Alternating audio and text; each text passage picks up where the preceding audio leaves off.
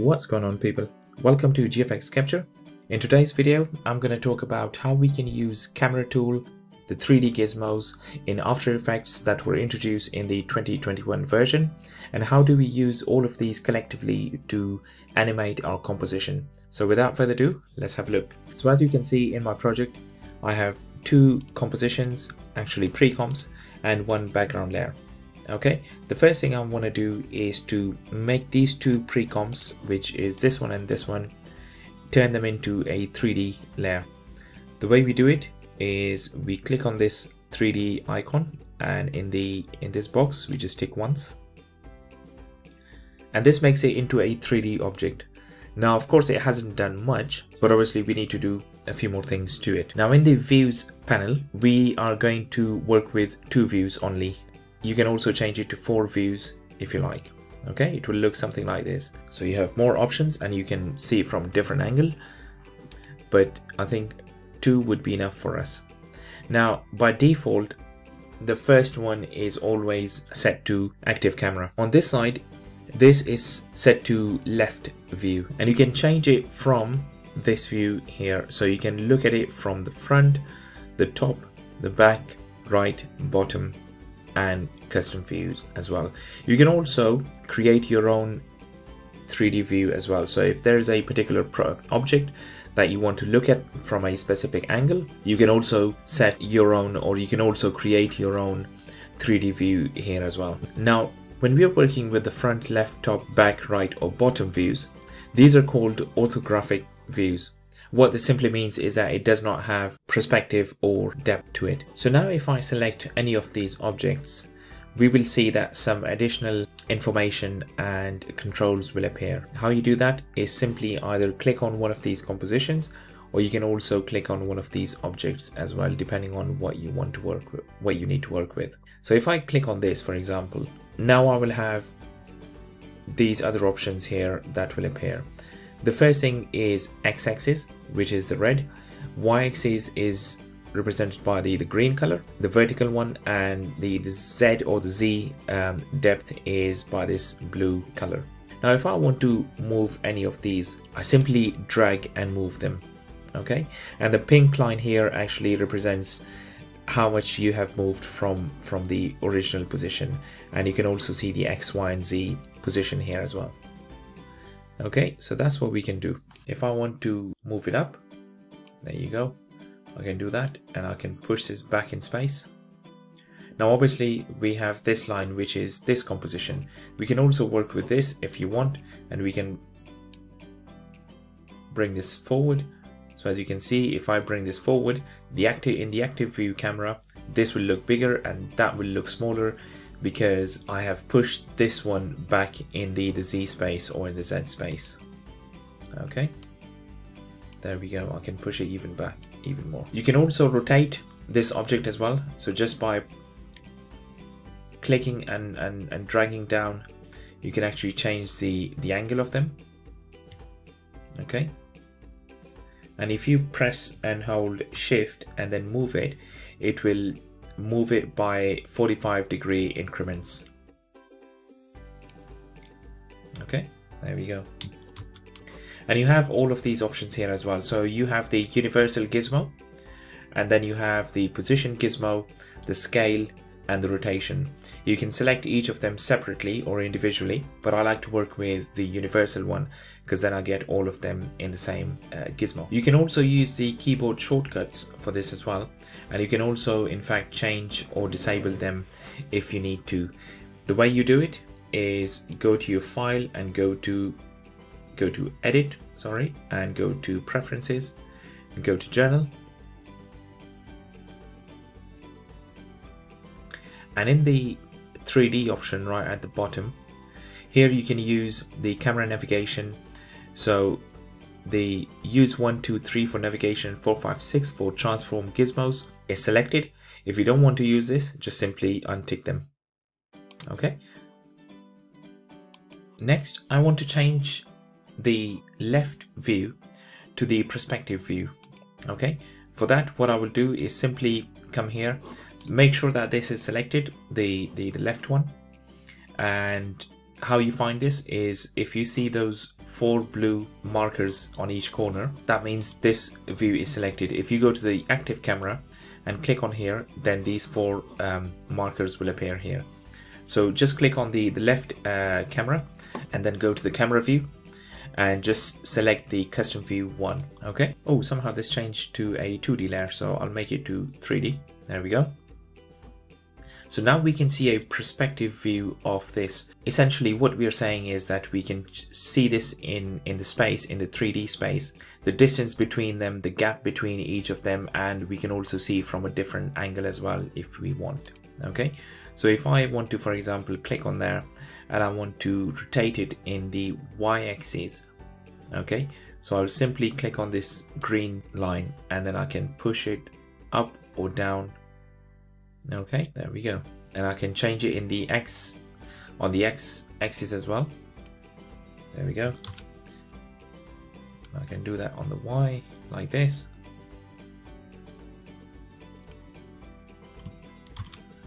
Okay or I can push it back in space and there you go. And you can clearly see on this side it becomes smaller because I've just pushed it back in space. This one is the same size. I can push it to the front if I want. Okay, now if you have some basic knowledge of After Effects, you will know that rendering is a big problem, especially if your PC or Mac is not a high spec or it cannot handle complex compositions and animations. It may slow down your rendering process as well. In this option here, in the 3D, we can actually put all our composition into a draft 3D composition. What this will mean is that it will actually make your rendering a lot faster. It does this in real time and it makes all the changes in real time. So when you render it, the lag time will be a lot shorter when you want to view them.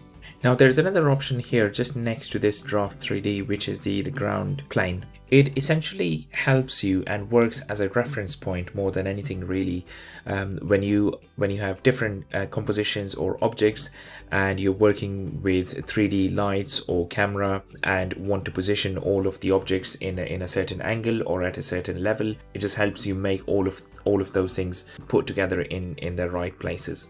Now in this case when you have the blank background and in case you have dark objects or compositions which may not be very visible on the black background of course what you can easily and simply do is to go to your composition settings and simply change the background color from a black or a dark background whatever you've chosen by default to something a bit lighter. Okay? So I'm gonna change it to sort of almost white color and there you go my now I can see if there were any dark um, uh, compositions or objects I would actually be able to see them easily. And I think just light background is much more nicer as well. You can easily see all of uh, um, all of your compositions and objects um, in your 3D pane so now it's kind of easy to work with these all right? If I go to I'm just gonna zoom in a bit on these ones.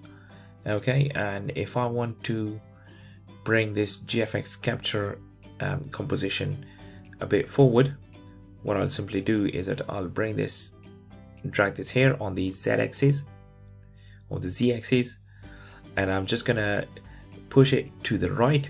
So I can actually either do it from here, which is this X axis, or I can do it from here. It's exactly the same thing. You're just looking at it from a different uh, angle.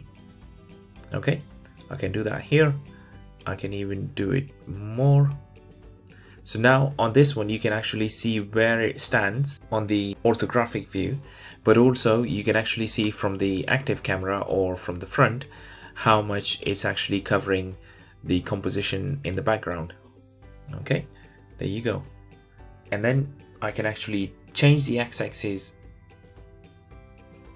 So I can actually rotate it basically. Okay I can I can tilt it to I can tilt it and, and make it lean forward. I can actually push it back and so that it's kind of like leaning back okay? And also I can push it up. There you go. Okay whatever you want to do with it. But it gives you what I'm trying to say is that it gives you a much power a lot more power in terms of placing and visualizing what your composition is actually going to look like in the end. Now you can also use the camera navigation tools here at the top as well.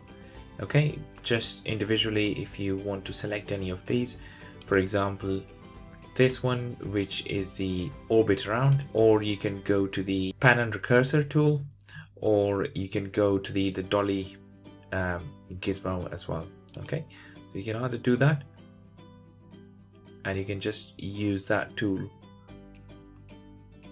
to perform that particular function. And you can use the short uh, keyboard shortcuts as well. Again one two three. So one it will go to this one. Two it will go to the pan under and three it will go to the dolly gizmo or the dolly tool. So remember we are doing all of this without even adding the actual camera into the composition yet. So as, as I said this new after Effects options are very very useful and powerful. You can do a lot more before you even add a camera to it as well. Okay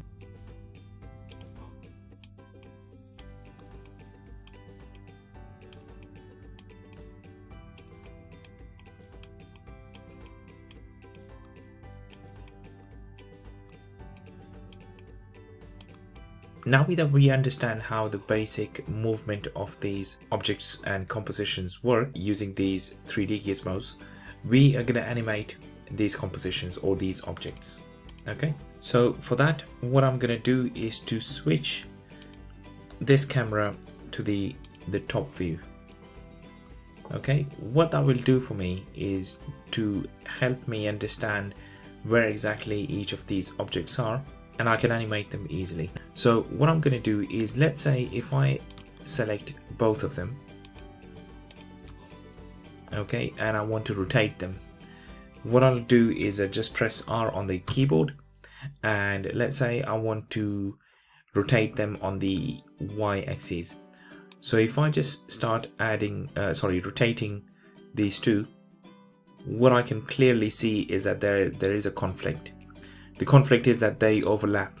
These objects will overlap in my animation. As you can see right here, these two objects overlap and depending on the animation you may not like this to happen so to avoid that and, and this is why I've actually chosen the the top view so that I can see clearly if there is going to be an overlap between the objects so the best thing to do then is I'm just gonna undo them and move this one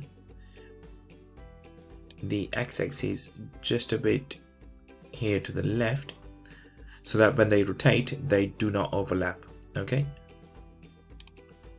And if I do it now select both of them and rotate the, the y-axis for them there we go. I can definitely see that there's no overlap okay? And this is this is really good to to do as a as a sort of a trial run to make sure that you do not spend time later on fixing these kind of issues.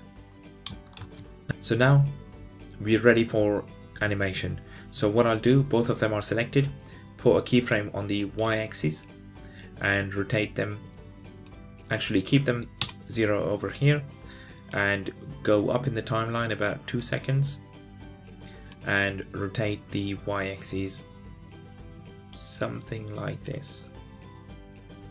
Okay, so now this is our animation. If we look at it,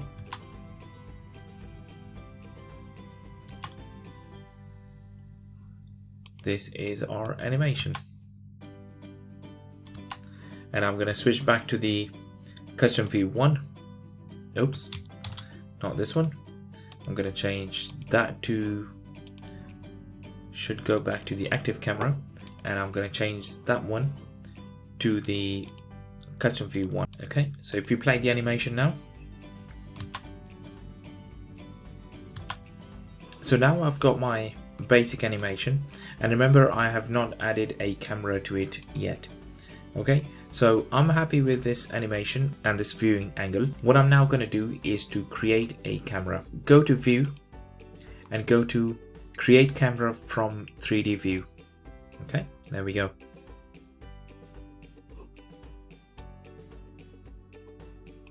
Now what I'm going to do is to press on P for the position.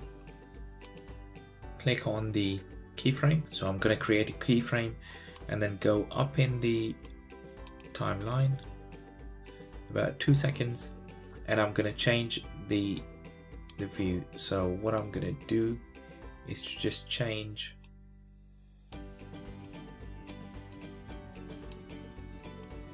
maybe something like this okay so now when we play it see we are actually that animation is already going on with with the, the the rotation on the y-axis but we're also moving the camera angle and the perspective as well which gives us a completely new dimension and the way how we are looking at this composition. Okay so it becomes really a nice composition and really nice view. So this is pretty much everything. One more thing you can do just to top top it up as a icing on the cake is to press F9 key select both of these keyframes press F9 then go into the graph editor and you can just change the speed of it as well. Okay so what will happen now is it will be something like this. Okay or you can actually go the other way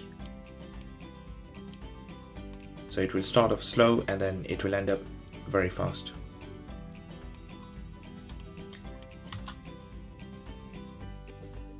Yeah something like this. Okay. So i hope this was a very basic but useful introduction to how the camera tools and the 3d gizmos work and how we can use them all together to collectively control the different angles of our animation and composition and how we can use all of this to create a really really nice and compelling video. So if you are new to the channel don't forget to subscribe click on the bell icon hit the like button on this video and we'll see you in the next one. Thanks bye